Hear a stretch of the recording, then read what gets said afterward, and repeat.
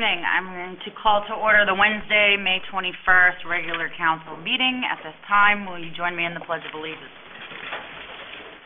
I pledge allegiance to the flag of the United States of America and to the republic for which it stands, one nation, under God, indivisible, with liberty and justice for all. And roll call. Councilor Donovan? Here. Councilor Katarina? Here. Councilor St. Clair? Here. Councilor Blaze? Here. Councilor Benedict? Here. Vice Chair Holbrook? Here. So at this time, we'll be doing general public comments. Before I start with the general public, I'm going to ask, we have some students from the Scarborough High School here this evening. If you could please file and line up at the podium and just state your name and which uh, class you're here for, what your teacher's is, and that way you have an account and proof that you were here like you said you were, so. um,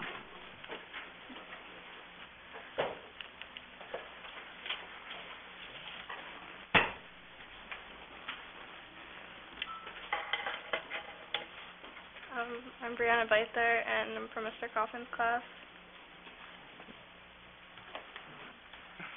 Izzy Dunn in Mr. Coffin's class. I'm Cole Disney, and I'm from, also from Mr. Coffin's class. I'm Brandon Plummer, and I'm also from Mr. Coffin's class. I'm Kelsey Donahue, and I'm from Mr. Roberts' class. And then we have a Boy Scout. And then we also have another young we do. person here this evening that can come right on up and state your name and all that good stuff. All right. Um, I'm Chris Dion. I'm not from Mr. Coffin's class, but um, I'm here because uh, I'm a Boy Scout, and I'm here for requirement learning about uh, community. Dr. Jean Marie. Yeah. Great. Thank you. All right, at this time, we'll open up the floor for general public comments. Please state your name, address, and you have three minutes.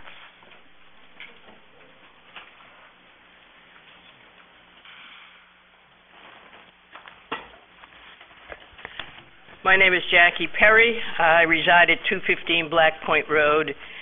Uh, I am on the school board, but I'm not here as a school board person tonight. I'm here as a Kiwanian. I want to inform you and the public that Kiwanis is holding a food drive for the Scarborough uh, Food Pantry. It will start Tuesday and run for two weeks. There are drop-off points at all schools. If you would like to donate food and you need a pickup, you can call Ron Forest Fence at eight eight three two seven seven five. Other drop-off points are orthopedic uh, physical therapy on the corner of Willowdale and Route 1, Saco Biddeford Savings, and uh, the La-Z-Boy store. So, uh, last count, well over 180 individuals were availing themselves of the Scarborough uh, food pantry. Children, especially, uh, will be needing food during the summer months, and we will conclude uh, the pickup in two weeks on Saturday with drop-offs both at the Black Point Church and the Blue Point Church. So you'll see signs around, you'll see the banana boxes around, and if you need any more information, you can get in touch with me or with any Kiwanian. Thank you very much.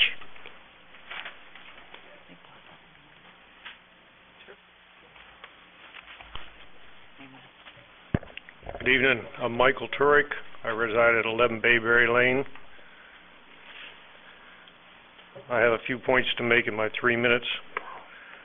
First of all, I printed out, read, and tried to decipher the 20-page school budget dated 1 May and the 150 pages of town budget with analysis. I now understand the Herculean task this council faced trying to do the best job possible allocating limited funds. Secondly, I realize that if every member of the council and the school board read the school budget, not everyone understood it all. I honestly wonder how many how many people in both groups questioned some of the items. For instance, on the first page titled General Fund Kindergarten through Grade 12, there is an item called Charter School Tuition. This item went from $20,000 to $54,500 in one year, yet the dollar change in the percentage columns are empty. I question to whom do we pay the charter school tuition, and why is it not shown as a change if it went so high? Career and technical education went from $272,000 and some change to $338, uh, $338,000 and some change. That's a 24.4% increase, and I have to question why. Guidance services went from $776,000 and some change to $1,224,000. It's a 57.6% increase in one year. Here again, why? Page two of 20 says that substitute teacher wages went up 50%. I wonder if we hired 50% more substitute teachers, or did we give our present substitute teachers a 50% pay raise? I want you to realize these questions are rhetorical this evening. I expect no answers. Nor do I expect you to be able to speak to every line item in the budget. I do, however, think that these types of questions need to be asked before the budget process gets to the point that it is now. I also think that the budget should go no further than the initial reading if it does not comply with the council's stated position of a flat budget and a flat mill rate increase. To just move it through the process, in my estimation, is incorrect. Fourth, I firmly believe that teachers are our most important asset in the school system. I'm not anti-education, but I am anti-limitless increases in spending. As one woman said today, and I quote, "I'm all for a good education, but my God, it doesn't have to be gold-plated." End quote. As I stated in the council meeting several weeks ago, I had to come out of retirement after six years because my mill rate kept increasing. I couldn't keep up. It's not a very nice thing to have happen, and I'm sure I'm not the only one. If this council and the school superintendent and the school board drive people out of their homes, none of you will feel any pain.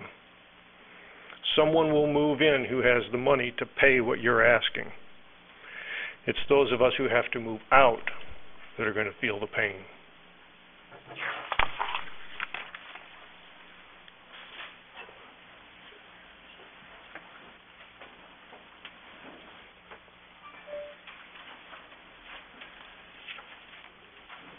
My name is Robert Rovner. I live at 4 uh, King Street.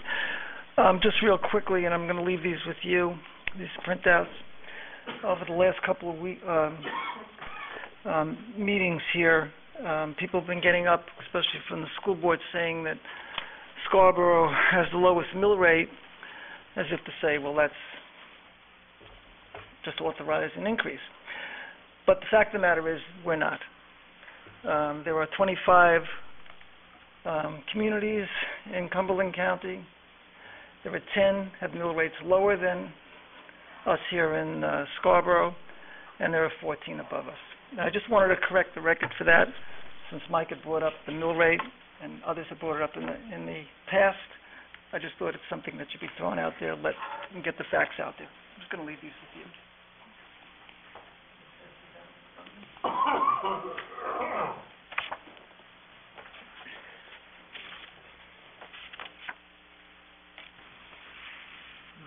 Anybody else wish to speak? All right, seeing none, I'm going to close the general public comments. At this time, we'll be taking item five, which will be um, the minutes, which, sorry, let me pass that. Um, Excuse me.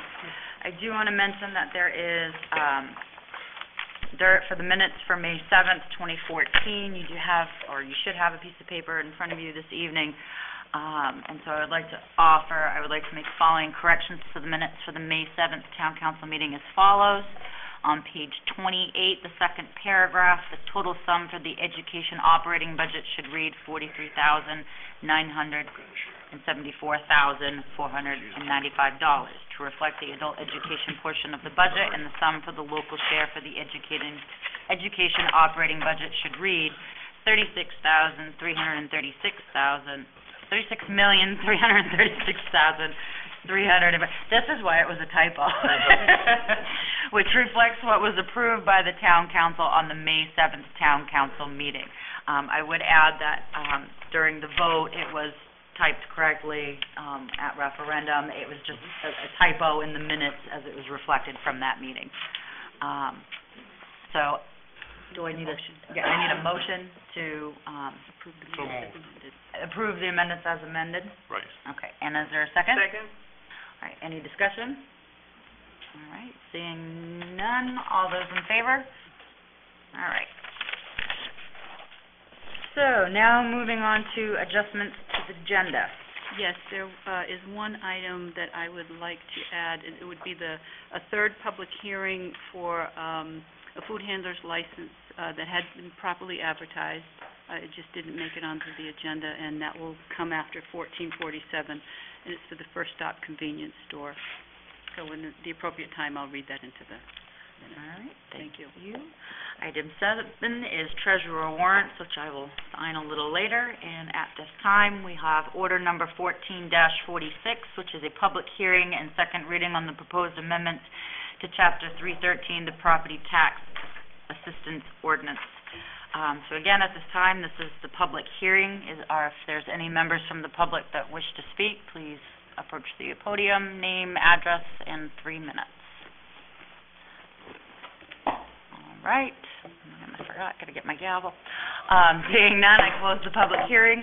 Um, pleasure of the council. Move the motion. All right, first, is there a second? And discussion. Madam Chair, I have an amendment. Marie? Um, I am proposing that under section four, line one, two, three, four, strike starting with applicants and ending with, uh, paid in the preceding calendar year. We replace that with the following wording. Um, and then I'll explain why I'm, I wanna do this. Uh, at time of application, applicants must provide evidence of income eligibility in the form of a signed copy of the Form 1040ME, excuse me, including Schedule PTFC, Property Tax Fairness Credit, as proof and dollar amount of state property tax fairness credit eligibility. The program is based on the pro- state property tax fairness credit. It relates to property taxes paid in the preceding calendar year. No confidential income records will be maintained by the town. Um, I had a number of constituents uh, um, contact me, and they were concerned that we were going to be collecting confidential uh, financial and income tax information and keeping it and holding on to it. Um, and I talked to uh, uh, Town Manager Hall about this, and um, he agreed with me that, you know, to, to hold on to these records would be difficult, and it's like, do we really need to hold on them? All we need to do is establish that uh, people do qualify for this property tax credit. Uh, and I also had a concern from talking to some folks that they they we have a lot of proud people in town, and they didn't feel like people should be holding on to these records in, in city hall, eh, excuse me, in town hall. Um, and they may not apply for, for a program that they qualify for, because they felt it would be too much of an invasion of privacy. So all we're asking is that people show us, you know, what they have, but we aren't gonna keep it. So, any, that, that would be, I hope I explained it correctly, Mr. Hall. Yeah, I think perfectly well. We just need to be um, provided the, the evidence that eligibility is, is attained. Uh, We don't need to maintain or keep that record. In fact, I don't want to. Uh, To the extent that applications are filed by mail, we'll see to it that the documents will be shredded and properly disposed of. Um, Um, in the, in the previous ordinance, yeah, um, to get, it- hold you for just a moment, um, I'm gonna second your amendment, so now we're open for discussion. So, go ahead, Ed. in the previous ordinance, we only have, we required the, what did we require? Evidence of, There were three requirements for eligibility. One was you need to be sixty-two years old, right, still a requirement. Uh, the other was that you had to have qualified for the state circuit breaker program, okay. which has now gone away entirely. And, and, and what did we have to, what did the individual have to show for that? Uh, I don't recall, but certainly tax returns, uh, were not part of that eligibility. Right, And I think the town, all the town did was go back to the state. We relied, we relied on the simple fact that they were eligible for the state. Why wouldn't we do the same thing here? I suppose, uh, I suppose we could, uh, although I, I think there's still some changes in, in the works for, uh, the state's program. But I suppose, uh, we could simply take the eligibility for, for what it is at face value. Tom, Jim Marie? excuse me. Um, uh, it says here that it was struck, it says attached to all applications shall be proof and dollar amount, copy of check of state refund under chapter nine oh seven of title thirty-six, state circuit breaker program, that was one of the original. Mm, so we required a copy. That was one of the ways to prove eligibility. Uh, I think to Councilor Blaze's point, is that we could, through some wordsmithing, um, rely on the fact that they've been eligible through the state's program, and by virtue of that, they're eligible for the local program. Yeah, I'm fine with that. Believe me, staff does not relish, um, you know, looking at people's tax return and, and calculating eligibility based on income and Right. taxes paid. So if there's an easier way to do it, I might suggest that, uh, if you're willing to pass this this evening, just so long as, so we can have a program in place, and we can fine tune that, um, if necessary, I'll bring back an amendment. Any other discussion on the amendment? All right, seeing none, those, um, In favor Sorry. of the amendment. yeah, in favor of the amendment? And opposed? Seeing none, now back to the main motion. Um, any further discussion as amended? Main motion as amended? Hmm? All right, seeing none, all those in favor? And opposed? All right. So, order number 14-47 is a seven PM public hearing and action on the renewal request for a special amusement permit from Black Point Inn, located at five-ten Black Point Road, Bailey's Campground, located at two seventy-four Pine Point Road, Higgins Beach Inn, located at the thirty-four Ocean Ave, Libby Mitchell Post seventy-six, located on forty Manson Libby Road, Loyal Order of the Moose, located at 19 Sing- Spring Street, and Scarborough Downs, located at 90 Payne Road, as well as, you had an addition, Oh, that's for something else. oh, sorry, no, it's my fault. Uh, So again, this is a, a public hearing, so at this time, um, I will open for comment from the general public. All right, seeing none, we'll close the public hearing, and pleasure of the council. Move the motion. All right, first, and do we have a second? And discussion. All right, and seeing none, all those in favor? And opposed, we're all set. Now I read that one. Uh, order number fourteen fifty-one is a seven PM public hearing and action on the new request for a food handler's license from First Stop Convenience Store LLC, doing business as First Stop Convenience Store located at eighty-five Payne Road, um, I'm sorry, eighty-five County Road, sorry about that. Yes, yes. All right, And at this time, I'll open the floor for any public comment. And seeing none, and pleasure of the council. Move the motion. Second? And discussion? And seeing none, all those in favor? And it's unanimous. So, under, we're now into old business. Order number 14-39 is to act on the request to renew the town manager's contract. So, the public Yes. session. At this time, if there is any, um, general public comment, please step forward. And, well, let's jump up. Seeing none, I'm gonna close the public comment, and pleasure of the council. So moved. Second. And any discussion? Very happy to see this raise and, and package be given to our town manager, who does an excellent job. Really outstanding job. Thank you. All right, and... I would second that. All right, and, um, so all those in favor? Aye. And opposed, seeing none. Moving on to order number fourteen forty-eight is act to approve the appointment of Sharman Kivitsky to the Historical Preservation Ad Hoc Committee as recommended by the Appointments Committee. And if there's any discussion from the public?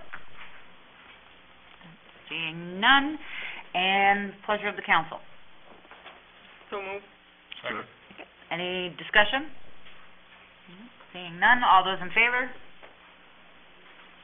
Okay, new business. Order number 14-49 is the first reading on the proposed fiscal year twenty fifteen school budget and schedule a public hearing and second reading Wednesday, June fourth, twenty fourteen. Um, before we open up for comments, um, I'm gonna go ahead and invite the, um, Finance Committee Chair, um, Mr. Chiazzo, and he's gonna spend a few minutes just speaking uh, as to where they're at at this, as a Finance Committee. Thank you. Good evening. Uh, I was hoping the next time we came together, uh, it would be to further discuss our commitment as the two Scarborough governance boards to continue to improve our communications and working uh, relationship so that our joint efforts could best serve the community. Um, I think it's fair to say that we'd all hoped not to need to further have further discussions in order to adjust the school's budget, but um, here we are. Um, one may be hard pressed to find any compelling direction in the referendum results given the small difference between the yeas and the nays and more disappointingly because of the very low voters that actually showed up at the polls.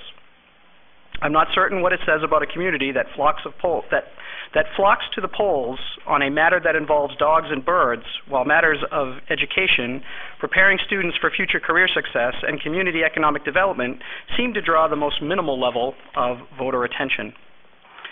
That said, the people who did vote against the budget outnumbered those who voted to support it, and the referendum outcome needs to be honored and responded to. I want to thank the Town Council's Finance Committee, who has invited the board to bring forth an adjustment to the school, bud- school budget number uh, for your first reading. As School Board Finance Chair, I'm here tonight to do just that. The additional reduction I'm bringing to you this evening has been vetted by the superintendent and has been reviewed and approved by the School Board Finance Committee. While the board as a whole has not officially met to vote on this recommendation, board members have been polled and given many and, and have given, many quite reluctantly, their consent to this adjustment. I would like to begin our presentation with the question, so how did we get here? The superintendent was charged, as he is every year, to develop a student needs-based budget, one that he and his team of educational leaders believe to be truly responsive to the level of the need, student needs in Scarborough. This year, that budget included investments and restorations of educational programs drastically cut or eliminated in previous budgets. That investment and restoration amount of $1,646,250 may seem large, but actually would have only represented 3.7% of the total school budget. More importantly, it represented the total amount of investment needed to move more aggressively on meeting the current programming needs of the students. The student needs budget, while a valid indicator of needed resources, would have resulted in a school spending increase that clearly could not pass. In an effort to better balance student needs with the current economic conditions, the board worked with the school leadership team to dramatically reduce this number by $697,250. This was the value approved by the Board of Education and included in the budget presented to the council as a first reading. Between the first reading and the second reading, and influenced by the board and the council's deliberations, the Board of Education worked with the superintendent and his team to further reduce investments in restorations by another $235,000 and the board approved this reduced level and included it in the budget brought to the council for the second reading and approval. The council, in setting the final municipal budget, further reduced the school board budget by $587,000 in order to achieve a net tax impact of 3.5%. To accommodate this significant reduction, the board chose to preserve the investments and restorations and was forced to dig deeper into undesignated surplus funds, to reforecast potential benefits and turnover savings, and to make across-the-board cuts in school supplies, materials, and equipment. Even with these, dramatic, with these drastic actions, investments in restorations still needed to be further reduced again by an additional $132,000. So where are we now? Recognizing that Councilor Donovan had previously proposed reducing the school budget to achieve an overall tax impact of 2.9%, we would request that we instead moderate such a drastic cut to land between Councilor Donovan's proposal and the 3.5% narrowly defeated by the May 13th referendum. Specifically, the School Board Finance Committee, again with a reluctant consensus of the board, is proposing a reduction in the overall tax impact to 3.25%. With nowhere else to turn, achieving this 3.25% number will require the superintendent and his team to further reduce requests for restorations by an additional $138,000. Recognizing that most did not particularly care for an itemized list of programic, uh, excuse me, program impacts that as they were presented last year, we will not be doing the same thing this evening. We do know that this new reduction will likely result in further compromising our ability to implement our, our lang English language arts curriculum for grades K through 5. It will further compromise our capacity to make best use of educational technology that the town has obviously has already invested in. And our guidance and college and career counseling at Scarborough High School will remain at counselor to student ratios far inferior to all surrounding districts and inadequate when considering nationally recommended ratios. Also, reliance on booster and parent funding of athletics and activities will continue to increase, placing more strain on the administration's requirements for oversight and regulation of such activities and potentially exposing the district to further liability issues. In the spirit of full disclosure, our overall capacity con to continue improvements and the momentum needed for continuous improvement will be diminished. If we are required to reduce this budget below our recommendation, our momentum and continuous improvement is the reason that Scarborough schools are being recognized both statewide and nationally as being the in the company of the highest performing school districts. I'd point to the recent U.S. News School Rankings and the State of Maine School Report cards just as a couple of examples. What we do not want is to eliminate any possible level of restoration in art, music, world language, or physical education. Nor do we want to have investments made by the community in technology that go unutilized or underutilized. Or miss opportunities for our school readiness uh, Jumpstart program, which pays back incredible dividends in early student learning results. We cannot jeopardize critically needed nursing, school safety, and athletic training services. These will be these all be further impacted by the reductions below our valid and well-researched proposed bottom line of 3.25%, and would ask you to please accept our recommendation to you. Thank you for the opportunity to present, and we look forward to your action.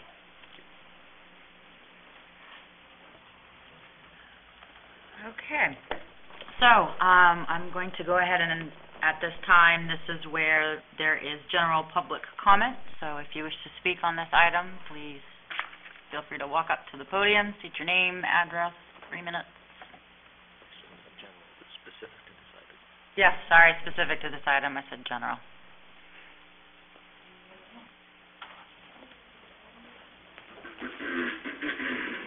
Didn't you keep anything in mind? I would hope that there'd be some other people in town that might want to say something pro or con. My name is Robert Rovner. I'm at 4 King Street down in Pine Point. I um, don't quite get all the generalities and areas that my colleague from the school board just spoke about. He asked the question and disparaged the community by saying that you had so many people coming out for the dogs and the birds, and we had such a small turnout for education. I don't think it's a matter that people don't want education, and I don't think it's a matter that people don't want to vote for education. I don't think people know what the hell they're voting for. You give them a gave them a budget. We had 38 million last year. You give them a number. What are we voting for? What are we adding? How much is going to this area? How are the dollars being moved around? We don't know. How can we vote for something that we don't know where the money's going? The, the council asked the board to be flat, and yet they came in $4 million higher. I believe there's an issue on the table for another $6 million bond issue this year. It's going to put the town over $102 million in outstanding debt. It just seems to me, and again, it just seems to me that we as a community need to work with you to understand what your needs are specifically. We'd like to sit down with you and go through your budget with you, and perhaps we can come up with some ideas creatively so that we can strike a balance, and the community then will have a complete understanding as to why you're asking for this money. When Mike stood up here before and he spoke about a 54% increase in guidance, I mean, you've got 3,100 kids in school, in the whole school system. You've got approximately 300 kids in a graduating class. My God, 50% in guidance. I'm all for language. I mentioned that to you the last time I spoke. But if you're running, and people complain about kids being in study halls and not getting proper education, I know you want to keep a 15 to 1 ratio, if I understand correctly. But you know what? We're going through a tough time. So if you need to add two kids to a class or three kids to a class for a couple of years before you can get back to where you want to be, I don't see the harm in that. Not for a short time, but it would certainly help us taxpayers. And the mill rate is the thing. We're trying to keep the mill rate constant. I don't know if you live in town, but I do. And my taxes, I started out here seven years ago under five thousand dollars. I'm now up over seventy-seven. With this new increase, I'm gonna be over eight. It's over four thousand dollars, approximately four thousand dollars in less than seven years. That's all I have to say. Thank you.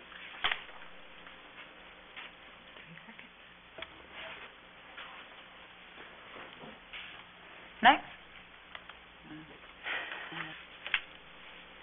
I spoke at the last town council meeting, and um, as a parent in the school district, was really disappointed that the budget didn't pass, primarily because I feel that... Can I inter, uh, we do need Oh, your I'm sorry, name and Cindy address. Kewick, and I live at Morse Point Road in town.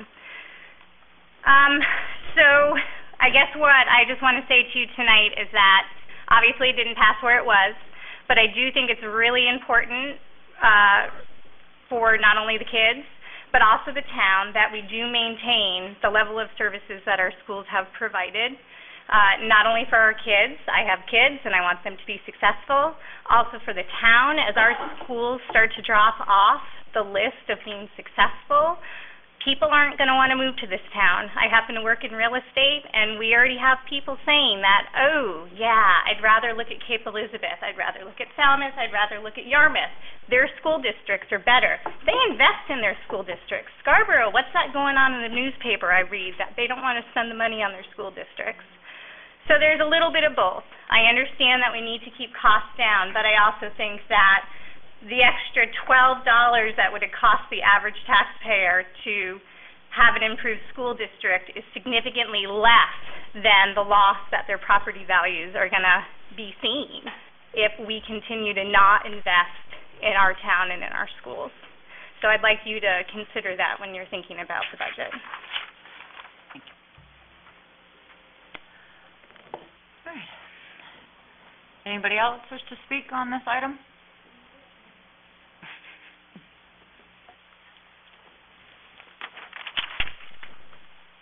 My name is Michelle Arpin. I reside at 9 Coulthard Farms Road, and I'm late to the game this year. I did vote, but I haven't attended any of the budget um, proceedings to date because, frankly, I'm exhausted. I've lived in this town for seven years, and it's amazing that we have to come out every year and battle and, and, and witness the cuts that are going on. So I was exhausted, and I checked out this time. Voted, but I checked out because I was I couldn't put up the energy to come to the meetings and um, and and hear everything that was going on. I knew I would vote, and so I did.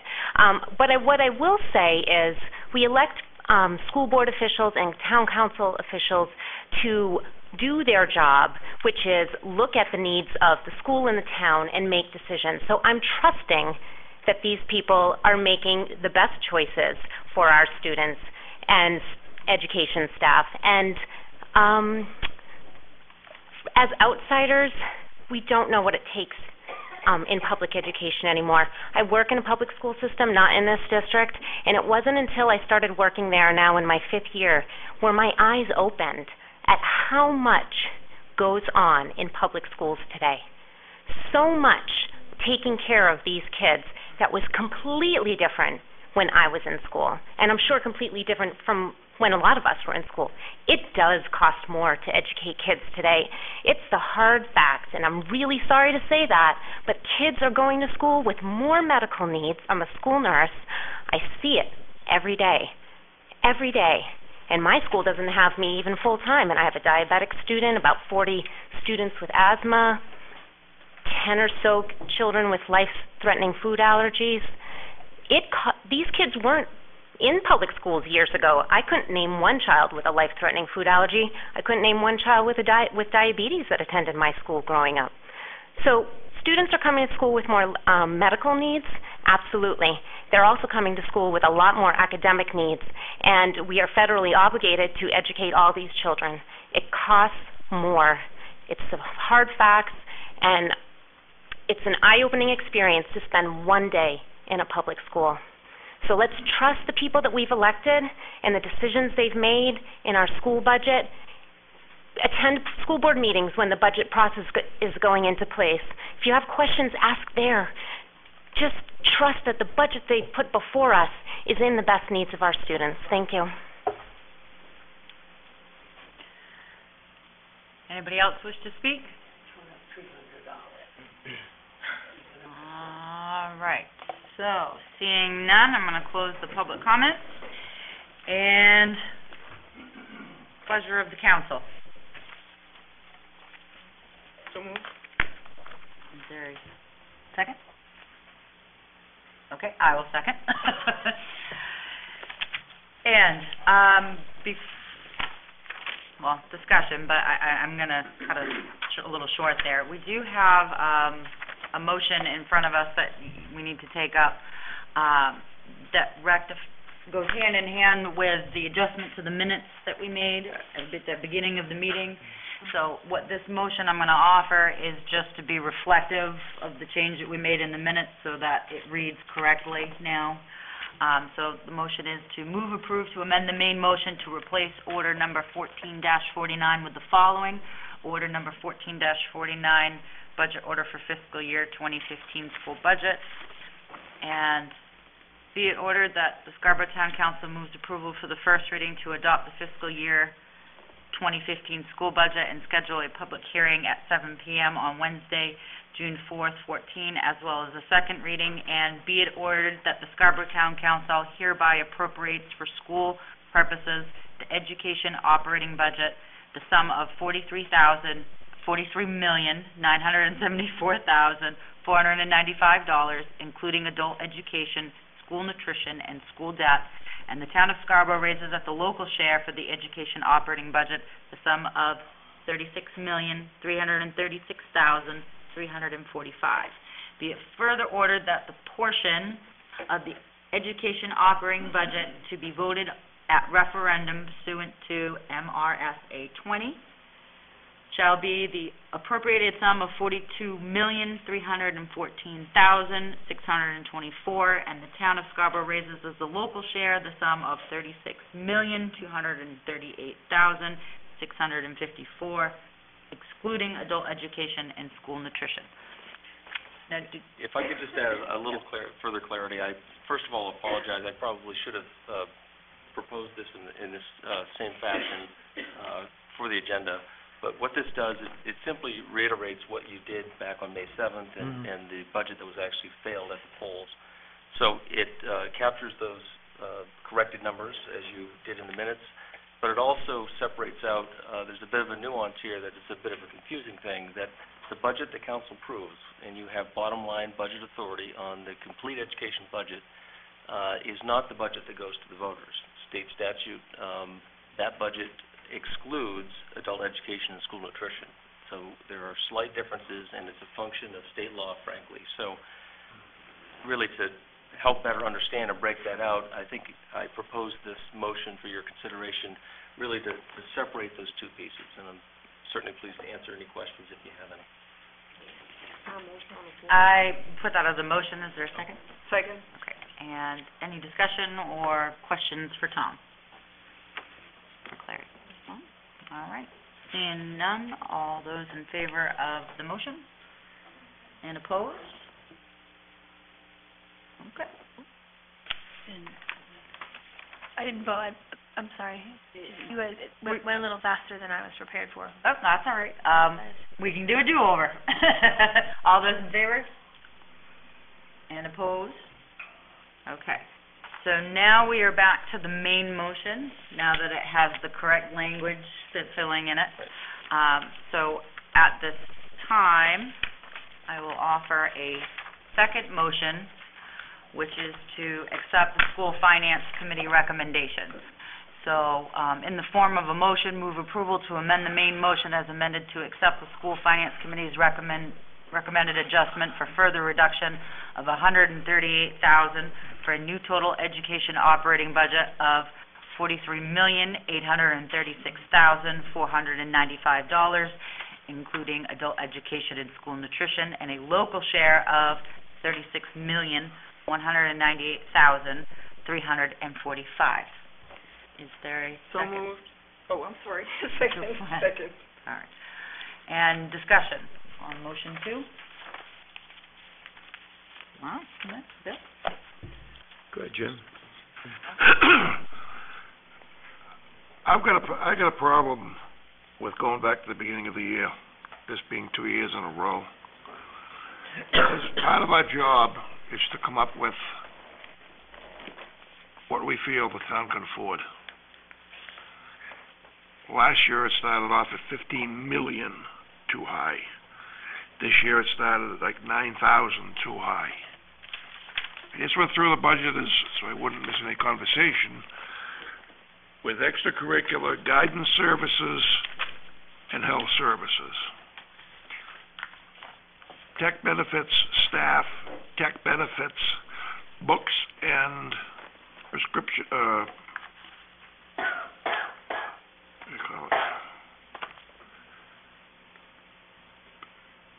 Periodicals. Benefits, sped teachers, athletic equipment, social worker salary, social worker salary, social worker salary, social worker salary. Between two years ago and now, those small amount of budget items have gone up three hundred and fifteen thousand dollars. I haven't gotten any reasonable answers and I've asked questions how do books and prescriptions go up from forty-four to hundred and seven thousand? Uh, benefits for, benefits for sped teachers, hundred and eleven to hundred and sixty.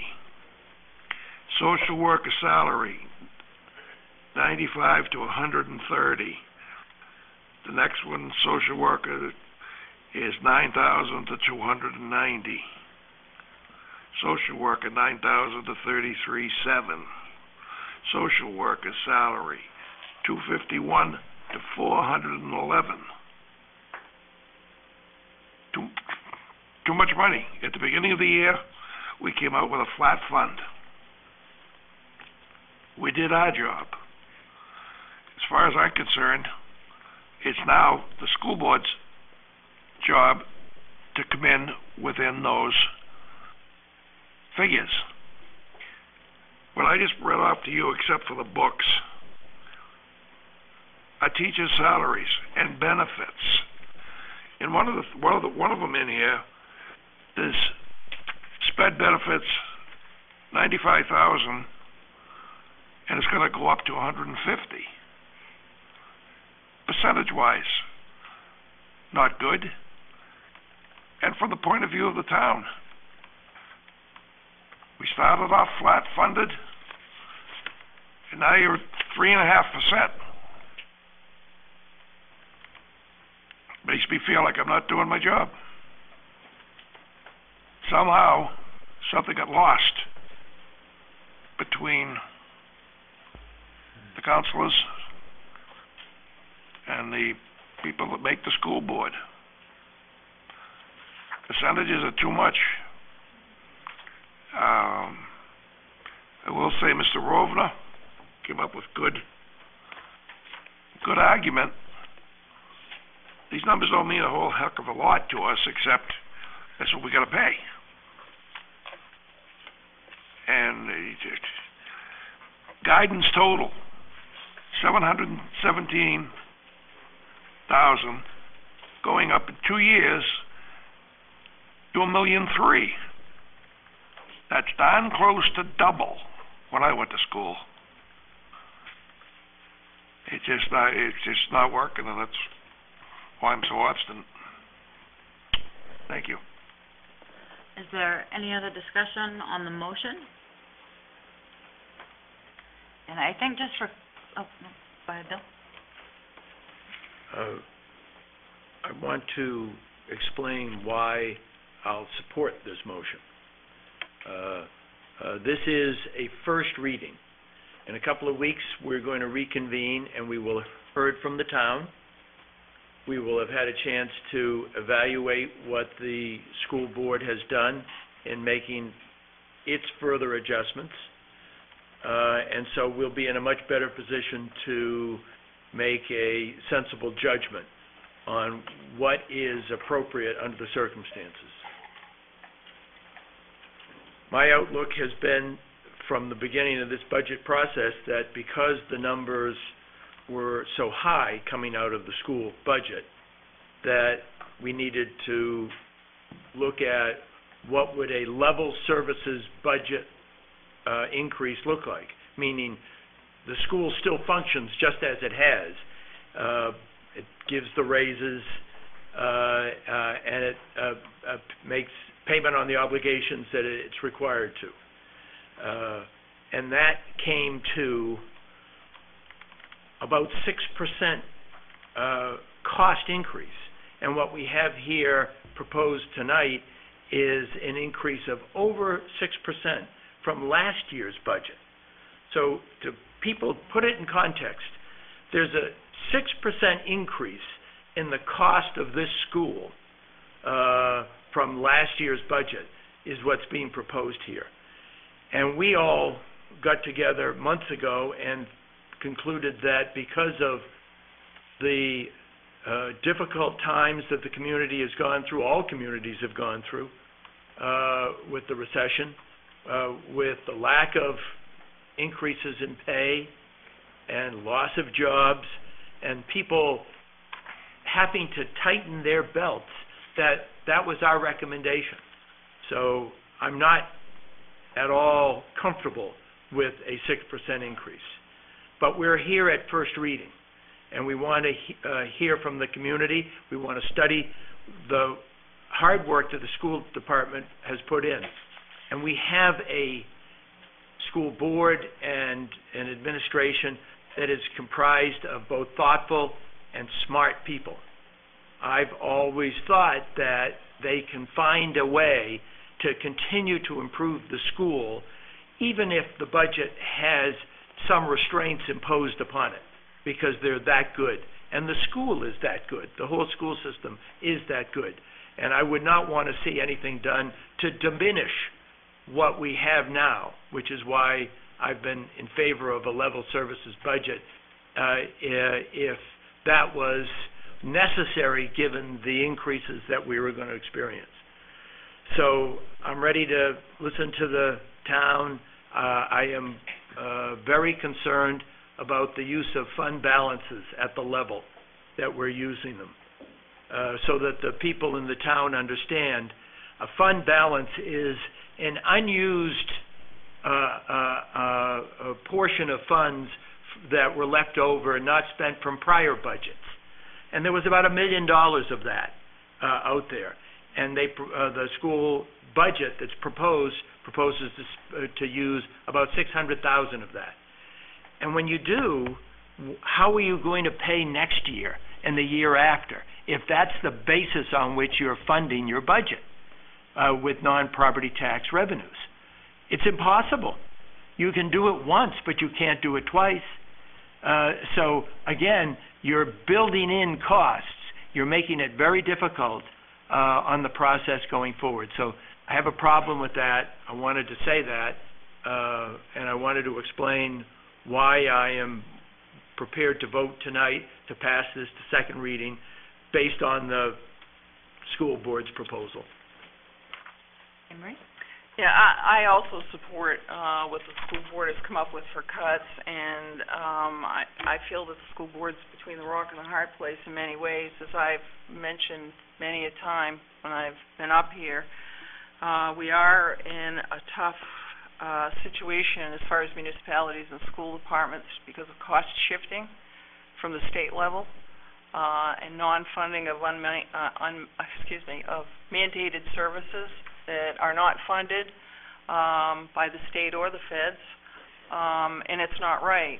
And we are feeling the brunt of it now, and it takes about a year for things to trickle down and, and impact negatively. Um, as you know, I was disappointed with the first budget that came out of the school board, um, but I, again, I commend them on the work that they've done. Um, I too was disappointed that uh, the uh, 3.5% increase to the property tax did not pass. Uh, like Councilor Donovan, um, I'm supporting this 3.25.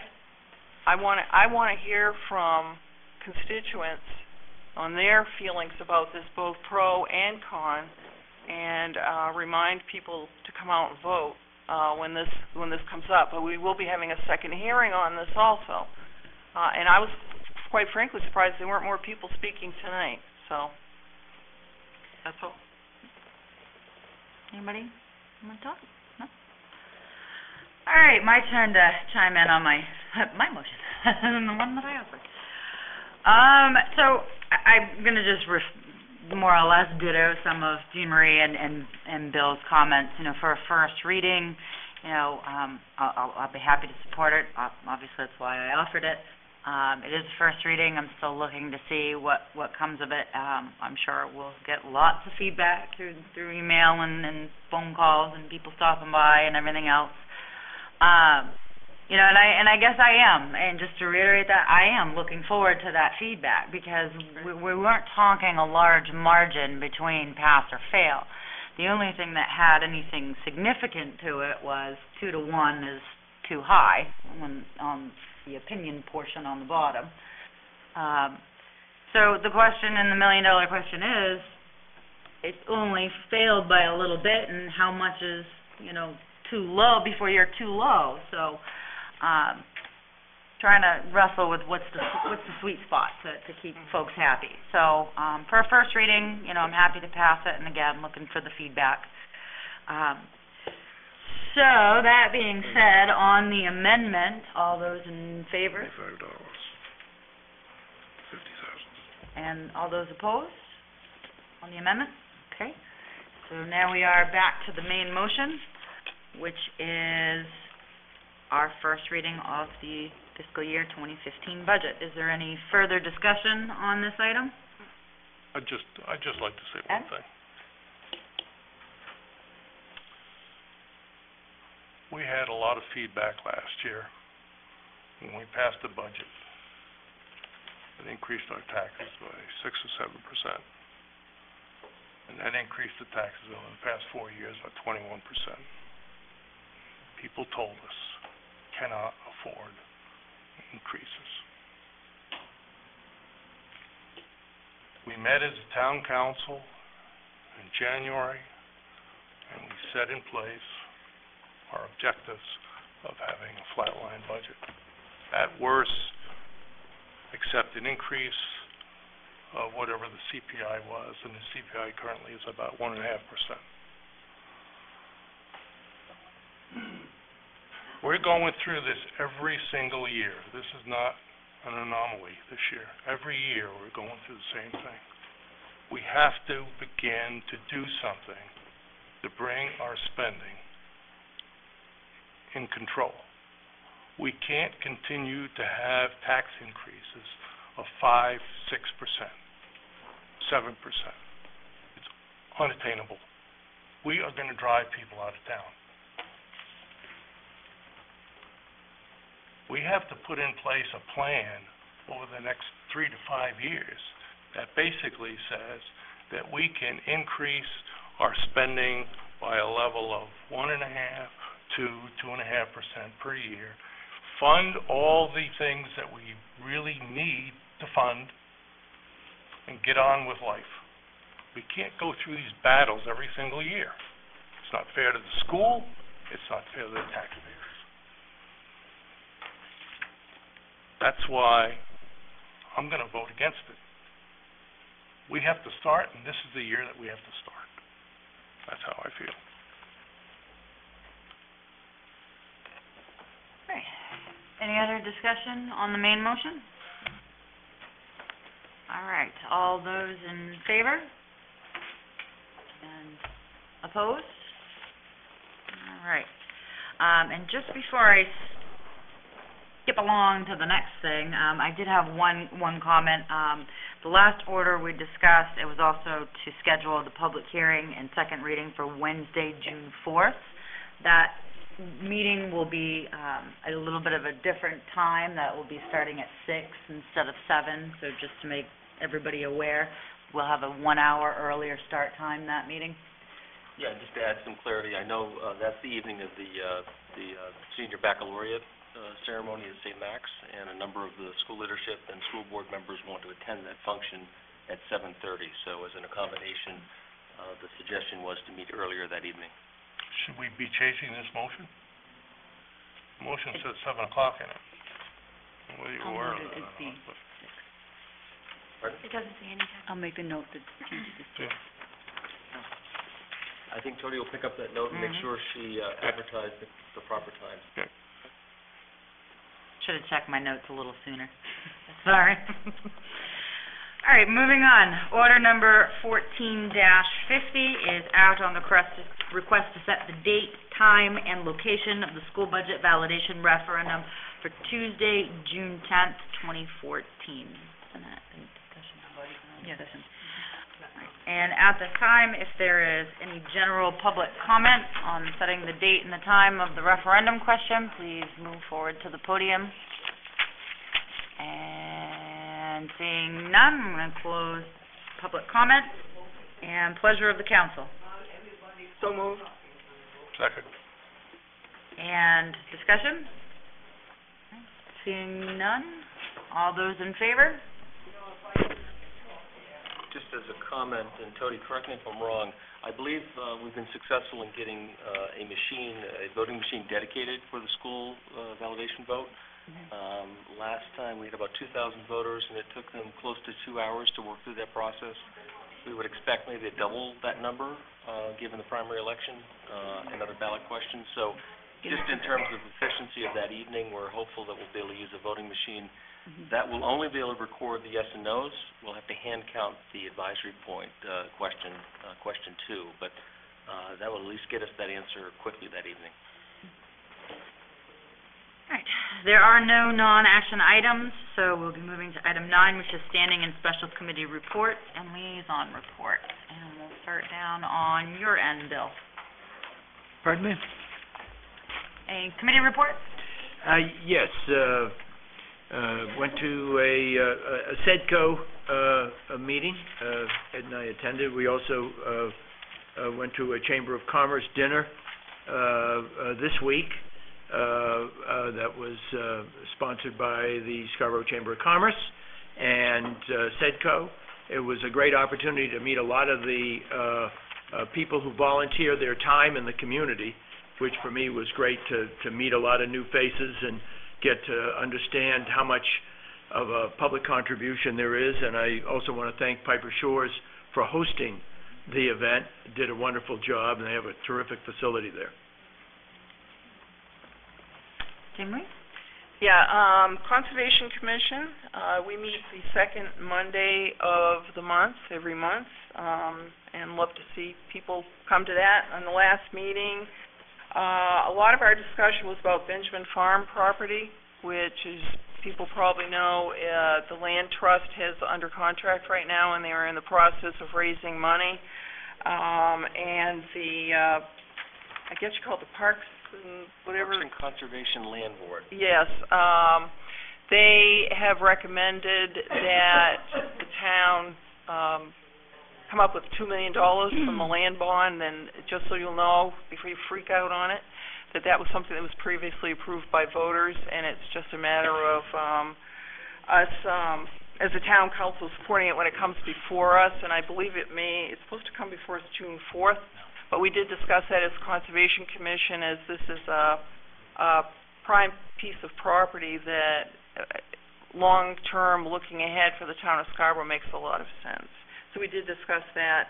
We also had a long-range planning, uh, meeting, and regretfully, I had to miss it. First meeting I've missed, so can't report. Uh, Jim? I have nothing. Ed? Uh, yeah, I, I attended the Senior Program Advisory Board meeting yesterday morning, and the bulk of the discussion in the board was the fact that they're down two voting members and an alternate. And I'm just trying to make a plea right now for anybody that's interested, uh, in joining the Seniors Program Advisory Board. Let me briefly describe what they do. The Seniors Program Advisory Board provides directional advice for development of seniors programs and services to the Seniors Program Coordinator. The board, uh, the board meets to discuss the planning, development, and implementation of senior programs, taking into consideration the monthly volunteer committee reports presented to the board by the Seniors Program Coordinator. They review the budget at all meetings, and they conduct reviews of activities. Um, anybody that's interested and would like a little bit more information, um, you can apply, um, by contacting Tody, uh, and getting a, uh, an application. Or, uh, if you'd like more information, I would recommend that you give Bud Hanson, who is the, uh, uh, the chairman of the, the board, a call, and his number is eight eight three seven eight five seven, and Bud would be more than happy to discuss what the board does. And I'm just making a plea for people to show up so we can, some days we can't even vote on stuff. So, that's it. Okay. And, all right, so item number ten, town manager report. Thank you. Just a couple pieces of information. Uh, the town has been working for a better part of a year with uh, our colleagues at PACTS, that's the Portland Area Compre- Comprehensive Transportation Group, uh, and DOT, and the City of South Portland regarding uh, connection of the Eastern Trail from Wainwright Field out to Pleasant Hill Road. And I'm pleased to report that we've been successful in securing funding through PACTS and, and MDOT to complete final design, permitting, and construction from that, uh, that segment from Wain- Wainwright Field where the trail ends out to Pleasant Hill Road. Uh, the, the final segment is certainly the most expensive, uh, that will require getting over the railroad tracks, very active track with Amtrak activity and freight trains, uh, and Nonesuch River. Uh, interestingly though, that's designed, and that's probably the easiest part, but for the funding. Uh, but we're very pleased to advance that piece, and, uh, we'll be looking for construction sometime probably fall over the winter. Um, also, just to report, um, the pedestrian improvement project that's down here at Route one fourteen, Wentworth Drive, Hannaford Drive, um, will be going out to bid, uh, at the end of this week with bids due back by the second week of June. Uh, the council may recall, this project is being funded through the school, uh, improvement project, and it was really, uh, I won't say an exchange or a trade-off, uh, of our efforts to assist in the wetland mitigation component. Undoubtedly, it will have benefits to the school and the campus, uh, and also the town, so we really look forward to this improvement. And it was also envisioned, uh, as part of the Oak Hill pedestrian improvement plan as well. Uh, just a plea to the council members, uh, the, the town is a member of the Maine Municipal Association. One of the major functions they do is they have a legislative policy committee made up of about seventy members statewide, and Scarborough actually has the opportunity for two representatives to represent our interests. And this group works with MMA staff and their lobbyists to shape, uh, legislative issues and to get engaged in that process. So if anyone's interested in council and being involved in that effort, please, please tell me. And secondly, if you have any ideas uh, about things that we should be bringing to the State House, this is the group to really push that stuff forward with. Uh, And two other final points of interest, uh, the Black Point Road sidewalk project, there's some final landscaping improvements that will occur next week. Loam seed and plantings will occur. And lastly, we're looking to coordinate a meeting with the U.S. Fish and Wildlife Service. They've asked to meet back with the town now that you've taken final action with the ordinance changes.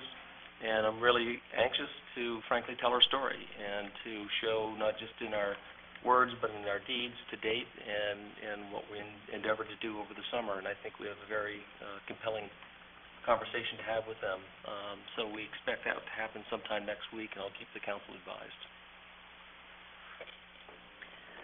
All right, and item number ten will be council member comments, and we'll go ahead and start down on the other end with Kate.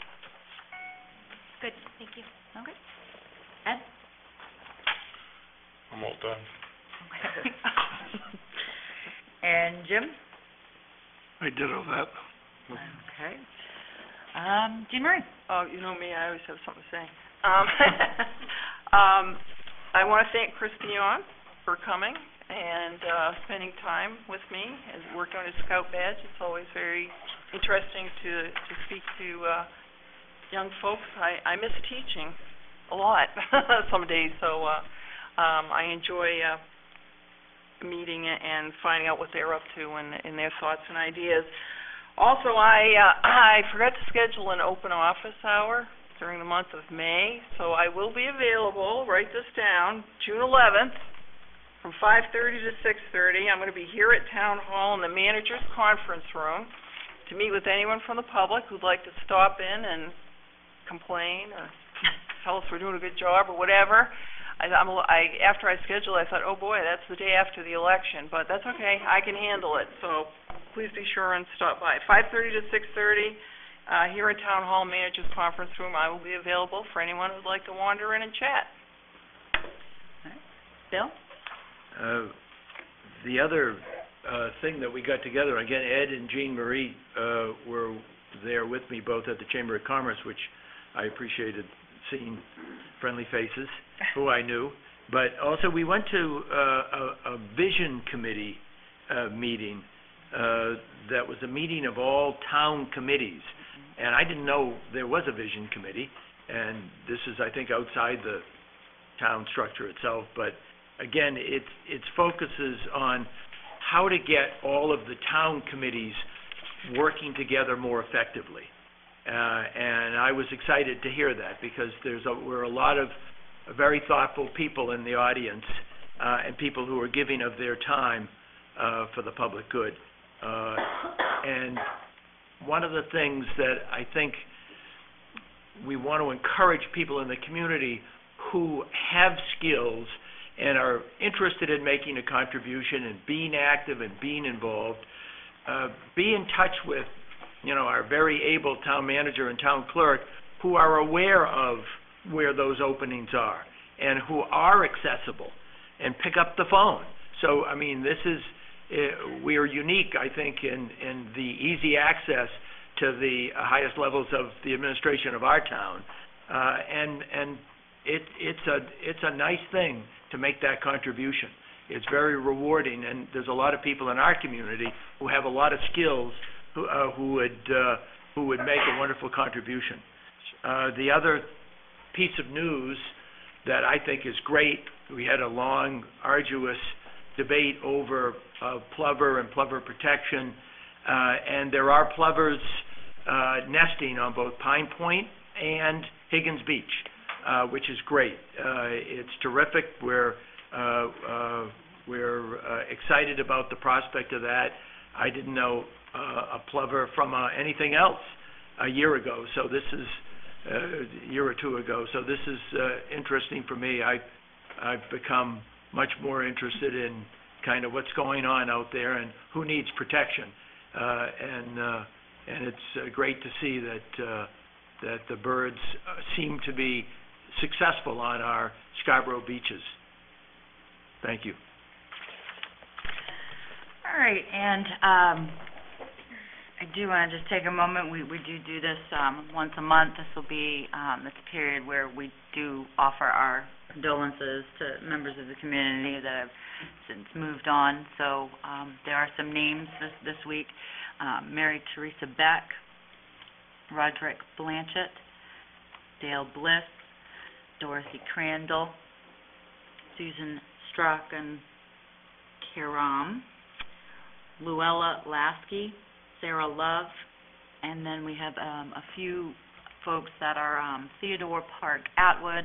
Um, he was a lifetime resident, uh, was raised in the Pine Point area, um, was a Scarborough grad, is a vet. Um, and we also had um, Vera Tem, who you don't know who the Thames and Alquists and all those folks are, um, was again a lifetime resident, lived up in North Scarborough. Um, so again, we'd like to extend our condolences condolences to those families. Um, and on to maybe a bit of a happier note, um, we do have the three-day weekend ahead of us. It's, it's Memorial Day. There will be a parade on Monday. I think it starts at ten, if I'm not mistaken. Yeah, you're going, I think so. Yeah, we'll, we'll put it on our website.